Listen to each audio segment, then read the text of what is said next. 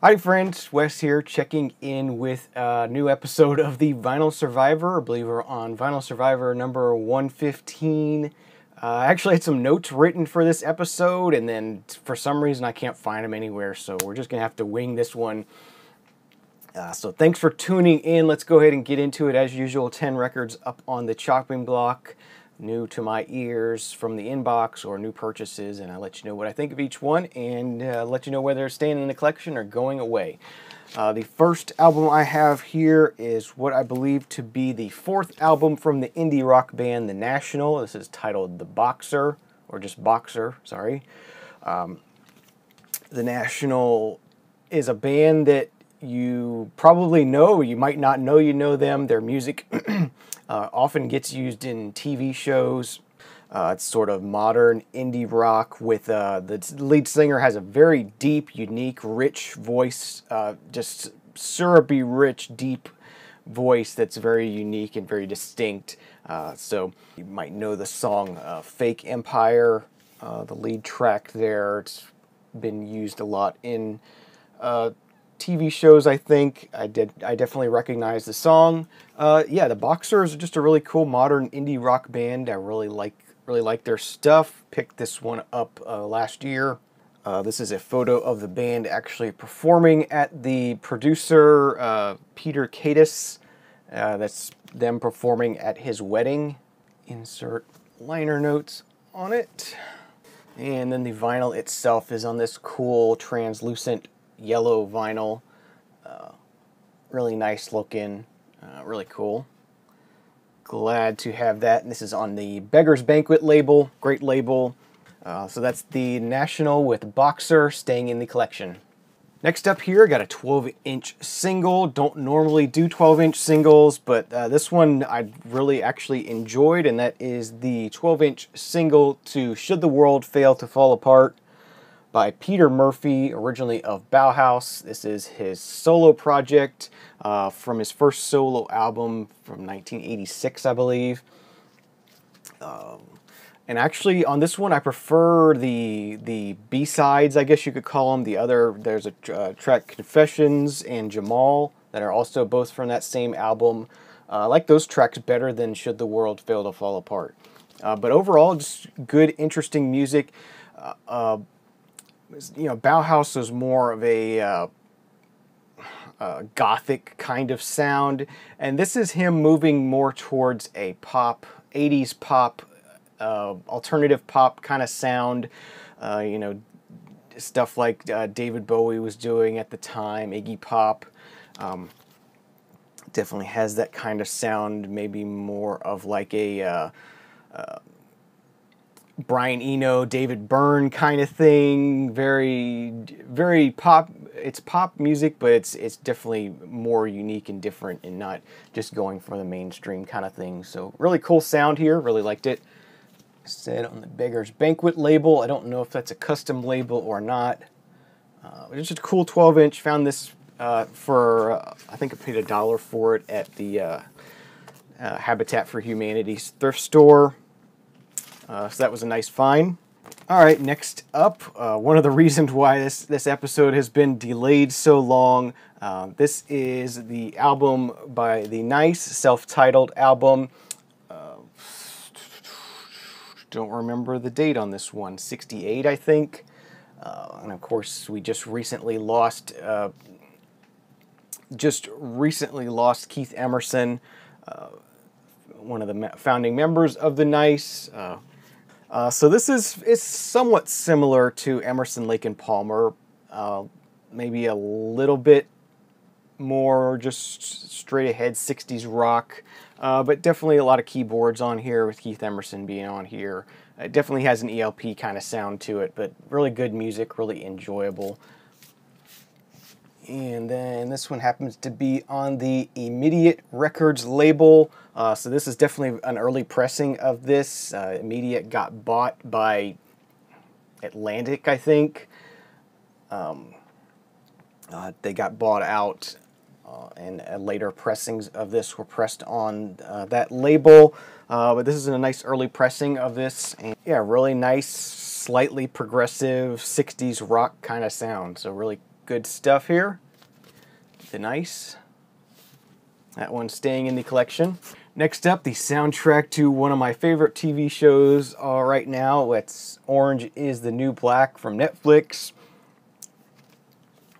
Uh, just a really fun show. Really enjoy watching it. It's funny. It's it's intriguing. It's interesting. It's uh, it's funny. It's just a really funny show, and uh, really I really like the characters. It's kind of a character piece kind of thing, and I really like the characters, and it's fun to watch them uh, go through their lives and stuff. So. Uh, really cool. This has the, the title track that was written by Regina Spektor for the show. The You've Got Time, which opens up every show, and then uh, you got a bunch of cool just tracks on here. You got uh, I'll Take You There by Staple Singers. You got Milkshake by Kelis. Sunday Morning, The Velvet Underground and Nico. A Bunch of cool stuff on here. a Bunch of cool tracks on here from the show, and it sort of brings you back to to the show. And of course, since this is the orange is the new black, it's on orange vinyl. Really cool, sort of marbleized orange vinyl. I don't think the camera is really going to pick it up too well. Uh, my color, my white balance is a little off here, but just a really fun show. Glad I found the soundtrack to this. It's something I wanted. It's something I tried to. I think I tried to buy the single uh, to You Got Time for Record Store Day one year, and it was gone by the time I got there.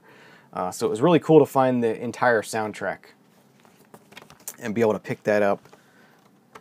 And I think I actually got this out of the clearance bin at, um, what is it, American Outfitters, or what's that Outfitters store? Urban Outfitters. That's that's the store I can never think of. Urban Outfitters. Uh, yeah, I got that out of the clearance bin for like 10 bucks, so that was a cool find. Uh, next up, we got an album by the Fat Boys. This is titled On and On, a rapper introduced by Dr. Dre and Ed Lover. Uh, this is a very late Fat Boys album, 1989 on this one, so very, very late. I think they maybe did one more album after this. This is just, it's, it's not good at all, in my opinion. um, yeah. Didn't really care for this one at all. It's the Fat Boys trying to do a lot of different things. Their, you know, hip hop has changed a lot at this point. They they kind of don't know what which way to which direction to take the group, and uh, it doesn't really work for me. Uh, this is a gold stamp promo. And there is the Tin Pan Apple label. It does say promotional copy on the label, but it's not a white label. It's kind of weird. This is like a black label promo, I guess you could call it. Um, but yeah, not not recommended for uh, you know a Fat Boys kind of thing. It's not very good. That's some of their weakest stuff, in my opinion. Uh, but since I'm a completist, or, or since I love the Fat Boys so much, I'm going to keep that around. I can't I can't let myself get rid of that one, uh, but not recommended. Next thing I got here to talk about is an album by Paul Simon titled Hearts and Bones from 1983, I believe. 19, yep, 1983 on this one. This is the album he did right before he did Graceland. It's definitely very experimental. It's very interesting. I really was shocked by how much I like this album a lot. This is a really great album. If if if you, you know if you haven't heard this Paul Simon album and you like Graceland or you like the self-titled debut or if you like any Paul Simon stuff and you haven't heard this one, this one is really, really good. Some really great songs on here, some really great writing on here. Uh, this was started out, uh, was meant to be a Simon and Garfunkel album.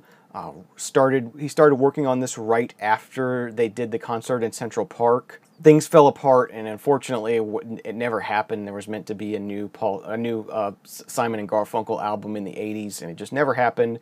So the, the stuff he was working on turned into this album, uh, and, and, it's just really good. You know, the the uh, title track "Hearts and Bones" is great. Uh, there's a "Think Too Much." There's two different versions of the song "Think Too Much," or sort of a, a "Think Too Much" and a "Think Too Much" reprise uh, that are really really good uh, just yeah, I was I was shocked by how much I like this album, and uh, definitely recommend this checking this one out. The inner sleeve with some lyrics, liner notes, and all that good stuff. The vinyl itself on Warner Brothers. Uh, so that's Paul Simon, Hearts and Bones. Thumbs up from me. I really was surprised by how, how good this was. So uh, check it out. It's a good one. All right, next up, moving in a completely different direction. This is an album from the Glitch Mob titled Love, Death, Immortality. Uh, a, a modern electronic, can be labeled as dubstep, I guess, kind of group. Decent stuff. I really, I was, I was really, I really enjoyed this. I dug it. I don't know if I would collect a lot of Glitch Mob albums, but uh, picked this up in the clearance bin again at Urban Outfitters and really really dug it. It was it's a fun listen. Uh, just really cool, sort of modern, glitchy, dubby kind of electronic music, and uh, definitely definitely enjoyed it. Cool. Inner sleeves there. There's one of them. Sort of pattern again. Yeah, really neat artwork on this one. Uh, really nice 2 LP set, black vinyl. So that is the Glitch Mobs Love, Death, Immortality. Another one staying in the collection. I, I dug it. I thought it was good. Uh, as I said, not something I would necessarily buy more of, but uh, a cool find for a, a, good price. So, next thing I have to talk about, I think this is the 14th album by the band Sparks. This is titled "Music That You Can Dance to." 1986 on this one. Uh, Sparks are, are, a group that sort of changed their style throughout the years. They started in the early 70s and sort of molded their styles over the years as, as tastes in music changed. Uh, so this being an album from 86, it's very synth pop, dancey kind of of record. Pretty good. I, I really enjoyed I really enjoyed listening to this one. It you know fits into my sort of synth pop kind of vibe thing that I like. Uh, very 80s sounding, you know, very fun, upbeat kind of 80s sounding, even though the 80s weren't necessarily an upbeat decade, uh, weren't necessarily a great time for us. But uh, yeah, just a, a fun album. Definitely enjoyed this one, and this is something you can pick up in dollar bins and stuff like that. So if you're into the 80s, you're into synth pop kind of stuff, uh, check them out. Pretty cool, pretty cool stuff here. And this one comes on the Curb Records label, part of MCA Records. Um, so yeah, it sparks music that you can dance to. Uh, definitely it if you're into 80s pop kind of stuff. Uh, good stuff, but as I said, Sparks are a group that's changed their sound over time. So, you know, if you go back to the 70s, it's going to be more rocky kind of stuff. And uh, yeah, interesting group, and I hope to explore more of their music uh, moving forward. All right, next up, sort of another uh, in the modern pop genre. This is the album from the Dum Dum Girls titled Too True from 2014. I believe this is their third album. Features the title track Too True to Be Good. Um, uh, I believe it's an all girl group and really interesting, just sort of modern pop music, a little bit rock and roll, a little bit sort of uh, chill wave kind of pop music uh, on the Sub Pop label. Insert and lyrics and liner notes. I really like the artwork on this this album. It fits fits the music well, and it's just cool artwork, and I really do like that. This is just on black vinyl. Uh, again, another one of the clearance pickups from Urban Outfitters. I think I paid five dollars for this, so it was really reasonably priced, and I'm, I'm glad I picked it up. It was an enjoyable, an enjoyable find and uh, a cool sort of modern pop group. So Dum Dum Girls, Too True, staying in the collection. Really enjoyed this one. Okay, and lastly, but definitely not leastly, I'm kind of burying the lead. I hate that this one's at the end of the video, but those of you who have stayed around this long, uh, you're in for a treat.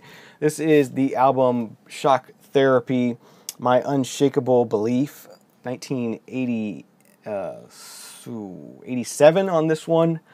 Uh, Shock Therapy were a band out of out of Detroit.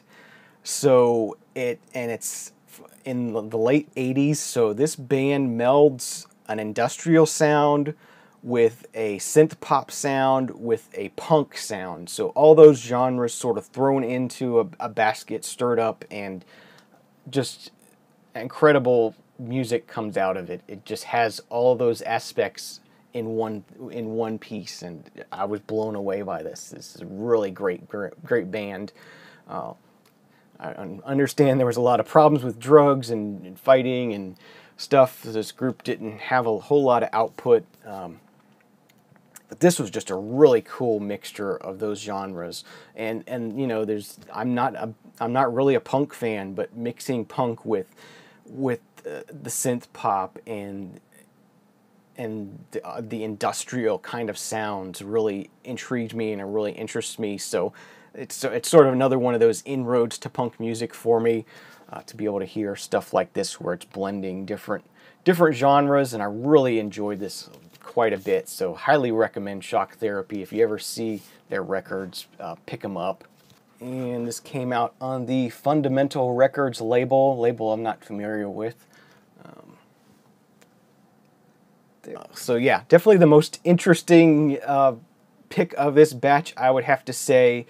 R- really interesting music, and if you're a fan of any of those types of music, I say check check these guys out. It's really it's a really cool blend of music and really interesting and uh, really great stuff. And I hope to find more of their stuff in the future.